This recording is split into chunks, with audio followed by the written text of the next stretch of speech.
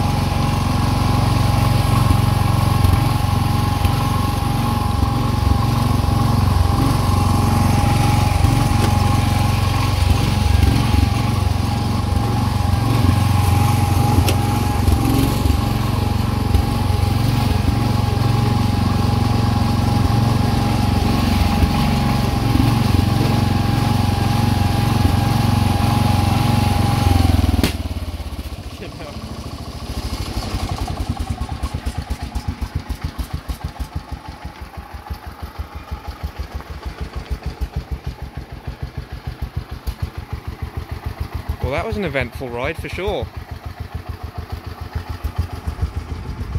Pretty nice little tractor though.